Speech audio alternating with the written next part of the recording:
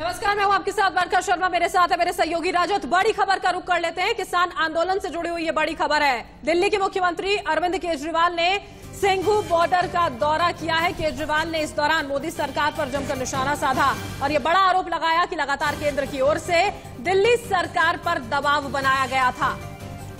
दिल्ली के स्टेडियम जेलों के लिए देने का दबाव बनाया गया था। ये कहना है अरविंद केजरीवाल का मुसीबत में किसान सबको साथ आना चाहिए। ये कहना है केजरीवाल का केजरीवाल ने भारत बंद का भी समर्थन किया है। किसानों के लिए की गए इंतजामों का जायजा लिया है। खुद अरविंद केजरीवाल और उनके साथ तमाम मंत्री और विधायक सिंगू बॉर्डर गए थे। पहले हम किसानों की सभी मांगों का समर्थन करते हैं। किसानों का मुद्दा और किसानों का जो संघर्ष है, वो बिल्कुल जायज़ है। शुरू से हम पूरी तरह से मेरी सरकार और हमारी पार्टी किसानों के संघर्ष में साथ रहे हैं। आपको याद होगा कि शुरू शुरू में जब किसान बॉर्डर पे आए थे तो केंद्र सरकार ने दिल्ली पुलिस ने हमसे दिल्ली के नौ स्टेडियम जेल बनाने के लिए उन्होंने परमिशन मांगी थी। उस टाइम मेरे ऊपर बहुत दबाव डाला गया। चारों तरफ़ से कई फ़ोन आए, खूब दबाव बनाया गया कि किसी तरह से हम परमिशन दे दें। उनका पूरा प्लान था कि किसानों को दिल्ली आने देंगे और फिर उनको वहाँ से पकड़ के उनको स्टेडियम में डाल देंगे और स्टेडियम में पड़े रहेंगे। लेकिन हम लोगों ने उनकी बात नहीं सुनी, उनको परमिशन नहीं दी और मैं समझता हूँ इससे आंदोलन को मदद मिली। उसके बाद से लगातार हमारी पूरी सरकार, हमारे एमएलए हमारे पार्टी के कार्यकर्ता हमारे मंत्रीगण मैं खुद हम लोग एक सेवादार की तरह आ, किसानों की सेवा करने में लगे हुए हैं। आज भी मैं यहाँ पे मुख्यमंत्री के तौर पे नहीं आया। मैं एक सेवादार के तौर पे आया हूँ। सेवा करने के लिए आया हूँ किसानों की सेवा करने के लिए आया हूँ। किसान 24 घंटे मेहनत करके खून पसीना बहा के अन्न उगाता है हमारे लिए हमारी सेवा करता है। आज किसान मुसीबत में है। हम सब का पूरे देशवासियों का फ़र्ज़ है कि किसानों के साथ खड़े और उनकी सेवा करें। तो मैं आज सारी सुविधाओं का जायजा लेने आया। यहाँ पे ये टॉयलेट्स हैं ये मैं देखा साफ़ सफ़ाई ठीक है। उधर पानी की व्यवस्था है बता रहे अंदर तक पानी जा नहीं पा रहा। तो आज ये मोटर वगैरह और पाइपलाइन लगा के अंदर पानी ले जाएँगे। उधर रहने की भी व्यवस्था देखी किचन भी देखी एंबुलेंस भी देखी आम आदमी पार्टी कल जो किसानों ने आठ तारीख को भारत बंद का आह्वान किया है आम आदमी पार्टी पूरी तरह से उसका समर्थन करती है और सारे कार्यकर्ता हमारे इसमें पार्टिसिपेट करेंगे पूरे देश भर में। और मैं उम्मीद करता हूँ कि पूरे शांतिपूर्ण तरीके से पूरे देश के अंदर सब लोग इसमें शामिल हों। मैं पूरे देश के लोगों से अपील करता हूँ कि सब लोग जो सेवा का काम चल रहा है और मुख्यमंत्री जी के निर्देश पे यहाँ पर किसानों की सेवा का जो काम सरकार की ओर से किया जा रहा है उसका निरीक्षण करने आज मुख्यमंत्री जी। अंदर भी जा रहे हैं। मिलने भी जा रहे हैं अंदर की यहीं पे? नहीं अभी तो आज तो सेवा का काम देखना है कि जो सेवा का काम ठीक चल रहा है जो किसानों की सेवा के लिए काम शुरू किया गया है बैठे हुए थे उनसे बातचीत उनसे भी मिली मुलाकात की सीएम साहब ने। खुश हैं वो बहुत खुश हैं बता रहे हैं कि जी वो देश के लिए बैठे हैं। मतलब वो किसान कह रहे हैं कि हम बहुत अच्छे से बैठे हैं कोई दिक्कत सर एक सवाल सर कई पार्टी सपोर्ट कर रही है कल भारत बंद को। आपको लग रहा है पॉलिटिसाइजेशन हो रहा है फार्मर्स नहीं किसान किसानों को अगर प्रॉब्लम है तो सारी पॉलिटिकल पार्टीज़ को सामने आना चाहिए। अरविंद केजरीवाल ने एक बड़ा आरोप लगाया केंद्र सरकार पर कहा है कि उन पर दबाव था कि कैसे स्टेडियम और बुरारी ग्राउंड को जेल में तब्दील किया जाए। सियासत और भी होगी पर का इस पर। लेकिन इस वक्त की एक और बड़ी खबर आ रही है किसानों के प्रदर्शन की वजह से डीएनडी पर भीषण जाम लग गया है। नोएडा से दिल्ली आने वाले सभी रास्तों पर लंबा जाम लगा है। तीन किलोमीटर तक लगी है गाड़ियों की कतार। यहाँ पर आपके सामने डीएनडी पर ये लंबा जाम यहाँ पर लग गया है। परेशानी का सबब लगातार ये आंदोलन अब आम आदमी के लिए ज़रूर यहाँ पर बन गया है। तमाम वो लोग जो यहाँ पर दिल्ली में दाखिल हो रहे हैं, जो सड़कें हैं डीएनडी की, वो पूरी तरह से देखें यहाँ जाम हो गई है। कल की तस्वीरें भी देखी थी हमने। सारे रास्ते जब दिल्ली दाखिल होने के बंद किए गए थे तो कालिंदी कुंज पर बहुत लंबा जाम यहाँ पर, लंबी कतारें वाहनों की देखने को मिली थी। दो तस्वीरें यहाँ पर आपके सामने हैं। किसानों का आंदोलन लगातार जारी है, सियासत यहाँ पर जारी है। अरविंद केजरीवाल पहुँचते हैं, मुलाकात यहाँ पर करते हैं और इसी बीच ये दूसरी तस्वीर है। डीएनडी पर जो भीषण जाम लगा है, उससे लोगों को खासी परेशानी।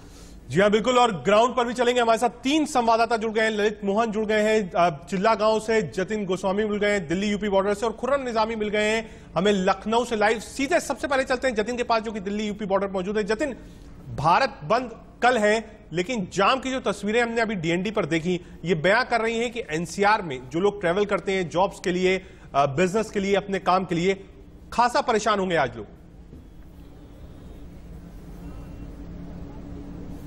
सुबह अभी हमने देखा कि कई रास्तों पर जो डाइवर्ट है, वो बढ़ाया गया है। अगर मैं नेशनल हाईवे नौ, जहाँ मैं मौजूद हूँ, दिल्ली, यूपी की सीमा, यहाँ की बात करूँ तो अगर आप गाजियाबाद से दिल्ली जा रहे हैं तो पूरी तरह से बंद कर दिया गया है। आपको प्रताप विहार के पास से ही राइट लेना होगा और आप मोहन नगर के रास्ते आनंद विहार होते हुए दिल्ली जा सकते हैं। लेकिन कल ये स्थिति और ज़्यादा बदल सकती है, क्योंकि कल, क्योंकि भारत बंद है। और भारत बंद की जहाँ बात है तो किसान यहाँ पर मौजूद है और वो उसकी तैयारी लगातार कर रहे हैं। वार्ता लगातार उनकी आपस में चल रही है, बातचीत चल रही है। वो सीधे पूछ लेते हैं। देखिए, दिल्ली जाम है लगभग कई जगहों से। कल आपका 8 दिसंबर भारत बंद है। क्या तैयारी चल रही है? और भी तमाम रास्ते जो हैं बंद होंगे ऐसा कहा जा रहा है?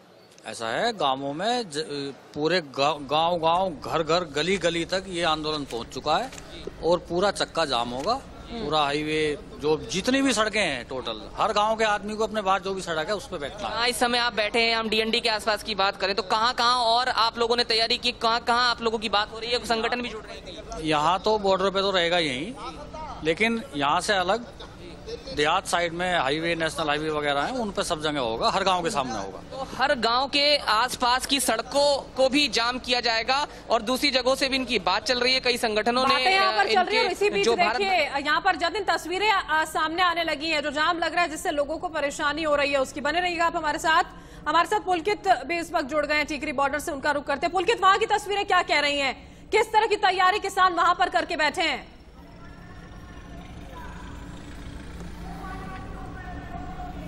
देखिए, तस्वीरें आप देख लीजिए। पहले तो फोर्स की तस्वीरें देख लीजिए किस तरीके से फोर्स ने पूरी तरीके से बैरिकेटिंग के साथ मोर्चा संभाल रखा है। दूसरी तरफ़ आपको किसानों की जो छोटे छोटे पंडाल नज़र आ जाएँगे टीकरी बॉर्डर पर। और कोशिश यही है कि किसी भी तरीके से सरकार से अपनी मांगे मनवाई जाए, यही वजह है कि आपको सामने का पूरा हाईवे ये बंद नज़र आएगा और लगातार किसानों की तरफ़ से यहाँ से ये मैसेज दिया जा रहा है कि जब तक सरकार उनकी मांगे नहीं मानेगी, वो इस इलाके को खाली नहीं करेंगे। दूसरी बात यह है कि इन पर नज़र रखने के लिए जहाँ जो फोर्स है, वो लगातार ड्रोन का सहारा ले रही है ताकि पीछे तक की तस्वीरें ये देखी जा सके कि अंदर किसानों के कैंप में क्या क्या चल रहा है। क्योंकि कल भारत बंद है और ऐसे में विरोध बहुत ज़्यादा हो सकता है। इसी को देखते हुए सुरक्षा के तमाम इंतज़ाम यहाँ किए गए हैं। अगर मैं आपको दूसरी तरफ़ दिखाऊँ तो बड़े बड़े पत्थरों के साथ इस हाईवे को पूरी तरीके से आगे तक के लिए बंद रखा गया है। यहाँ से अगर मैं एक किलोमीटर आगे तक की बात करूँ तो इसी तरीके के पत्थर रास्ते में ट्रैक्टर ट्रॉली को रोकने के लिए लगा रखे हैं। साफ़ है प्रशासन की तरफ़ से कि किसी कीमत पे इन्हें आगे नहीं बढ़ने देंगे। इन्होंने ये साफ़ कर दिया है कि सरकार जब तक तीनों कानूनों को वापस नहीं लेगी, इससे कम पर ये किसान राज़ी नहीं होंगे। जी। पुलकित एक सवाल और भी है। आपने टिकरी बॉर्डर की तस्वीरें दिखाई आपने दिखाया कैसे वहाँ पर अब बैरिकेड्स बनाया जा रहा है, सुरक्षा के इंतज़ाम किए जा रहे हैं। एक सवाल आपसे पूछना है, क्योंकि आप दिल्ली सरकार भी कवर करते हैं। हमने सुबह देखा कि अरविंद केजरीवाल अपनी कैबिनेट के साथ सिंगू बॉर्डर गए थे। उन्होंने कहा कि मेरे ऊपर केंद्र का बहुत दबाव था कि यहाँ पर जेलों में कन्वर्ट किया जाए स्टेडियम्स को। केजरीवाल क्या चाहते हैं? उनकी सियासत क्या कहती है? आज सिंगू बॉर्डर पर जाकर उन्होंने केंद्र को आड़े हाथों लिया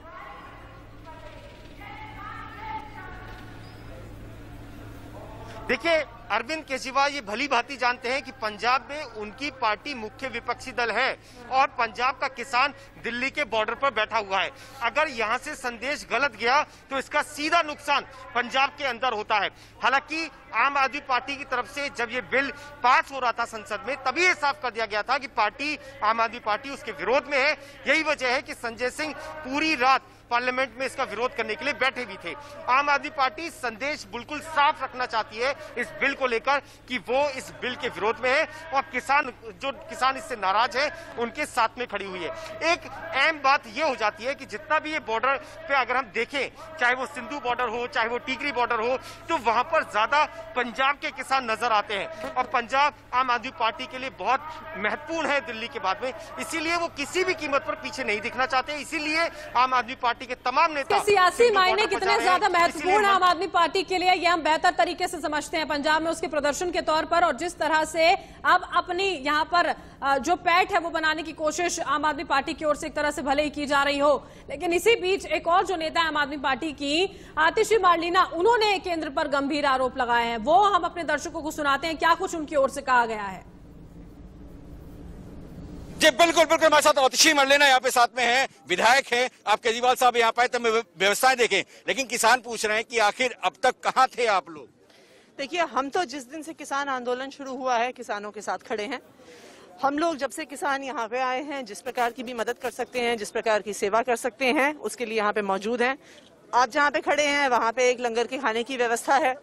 रोज आकर केले बांटे जा रहे हैं पानी का इंतज़ाम किया गया है टॉयलेट्स का इंतज़ाम किया गया है। तो इसलिए हम पहले दिन से ही किसानों के साथ खड़े हैं कि उन्हें किसी भी प्रकार के समर्थन की आवश्यकता केजरीवाल साहब ने कभी दबाव डाला रहा था केंद्र सरकार की तरफ़ से। कैसा दबाव था वो? क्या करने के लिए कहा जा रहा था दबाव में? देखिए केंद्र सरकार की तरफ़ से बहुत का बहुत स्पष्ट दबाव था। दबाव था कि दिल्ली के स्टेडियम्स को जेल में कन्वर्ट किया जाए जो आज बॉर्डर पे सारे किसान बैठे हैं चाहे गाजीपुर बॉर्डर हो चाहे सिंगू बॉर्डर हो चाहे टिकरी बॉर्डर हो किसानों को यहाँ ना बैठने दिया जाए दबाव कौन बना रहा था? दबाव कौन बना रहा था? कौन दबाव दे रहा था? प्रेशर कौन दे रहा था? देखिए प्रेशर तो केंद्र सरकार से ही आ रहा था कि दिल्ली सरकार किसानों के लिए ओपन जेल बना दे। देखिए चाहे मंत्री हो चाहे अधिकारी हो आपको भी पता है कि दबाव कहाँ से आता है। और उस दबाव, वो दबाव ये चाहता था कि किसानों को यहाँ पे प्रोटेस्ट ना करनी करने दिया जाए। वो चाहता था कि किसानों को ओपन जेल में बंद कर दिया जाए।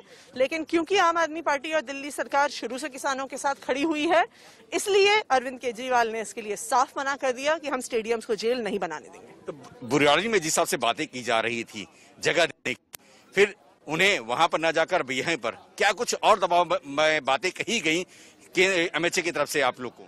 देखिए सिर्फ़ बुराड़ी की बात नहीं थी। दिल्ली में आठ नौ ग्राउंड या स्टेडियम्स को जेल ओपन जेल बनाने की बात हो रही थी।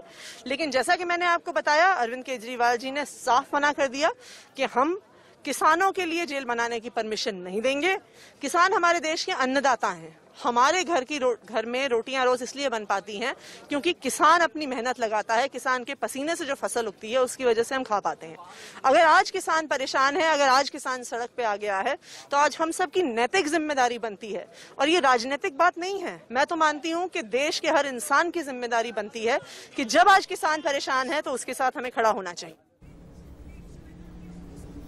और इसी बीच देखिए, हमारे सहयोगी अलग अलग जगहों से बने हुए ये जो आरोप आम आदमी पार्टी की ओर से लगाया गया है, ये अपने आप में बहुत महत्वपूर्ण हो जाता है। चुल्ला बॉर्डर पर इस वक्त हमारे सहयोगी ललित मोहन मौजूद है, उनका रुख करेंगे। ललित, वहाँ पर किस तरह की तस्वीरें देखने को मिल रही हैं? किसानों का क्या कुछ कहना है? अलग अलग रास्ते बंद कर दिए गए हैं और वहाँ से जो डीएनडी का रास्ता है, बहुत ज़्यादा जाम की स्थिति वहाँ पर देखने को मिल रही है। देखिए, जिस तरीके से दिल्ली के जो रास्ते बंद है अगर ये कहा जाए कि दिल्ली पुलिस द्वारा जो बैरिकेटिंग की गई है, चाहे वो गाजियाबाद की तरफ़ से हो, चाहे वो नोएडा की तरफ़ से हो तो दबाव जो बना है ट्रैफ़िक का, वो डीएनडी पे बना है सीधा। क्योंकि वो सरिता बिहार वाला रूट भी जो है, काफ़ी स्लो चल रहा है। वहाँ पर भी जो है, दिल्ली पुलिस की जो है बैरिकेटिंग है और ठीक इसी तरीके से डीएनडी वाले रूट पे भी पुलिस की जो है बैरिकेटिंग है, जिसके कारण जो यहाँ पर जो चेकिंग चल रही है, उससे जो है ट्रैफ़िक पे काफ़ी दबाव है और दो से चार किलोमीटर की जो है जो ये जाम की स्थिति बनी है वो कहीं ना कहीं जब ये बैरिकेटिंग लगाए गए उसकी चेकिंग के कारण ही बनी है। और जिला पे किसानों से भी बात करें आप उनका क्या कहना है उनसे भी पूछते हैं कल जी किसान से ही बात करेंगे हम कि कल जो आठ तारीख है अहम जो दिन है और नौ तारीख है जो परसों का दिन है वो किसान के लिए बहुत अहम दो दिन है। कल किसानों का शक्ति प्रदर्शन है उससे स्थिति नौ तारीख की क्या बनेगी ये भी तय होगा। और तमाम जो राजनीतिक दल है जिन्होंने समर्थन दिया है उसके बाद जो चक्का जाम की स्थिति होगी जब अभी के आलम बिल्कुल ये चक्का जाम की स्थिति कल क्या देखने को मिलेगी? तो इस बात को लेकर सवाल है क्योंकि आज ही एक तरह से जो ट्रेलर है वो देखने को मिल रहा है अलग अलग सड़कों पर। सभी आप लोग हमारे साथ बने रहेगा आगे में हम आपसे जानकारी लेंगे इस पूरी खबर पर। बिल्कुल और किसानों को लगातार पॉलिटिकल पार्टियों का समर्थन मिल रहा है।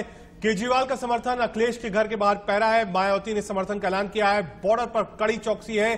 किसानों के लिए खाना, पीना सब कुछ जाला है। कल भारत बंद है आपको छह तस्वीरों में दिखा रहे हैं कि किसान इन्हीं छह तस्वीरों के ज़रिए आपको दिखाने की कोशिश कर रहे हैं कि भारत में आंदोलन कैसे तेज हो रहा है। कल भारत बंद की तैयारियाँ कैसी है? कौन कौन से राजनीतिक दल हैं जो में आए हैं और किसान क्या कर रहे हैं?